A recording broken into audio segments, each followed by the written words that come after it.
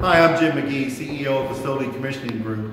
I'd like to invite you to my presentation at CxEnergy, 4G commissioning in a 5G world. We're going to explore how the communication advances are really going to impact the, the commissioning process. Also, uh, I'd like you to check out my interview on automatedbuildings.com.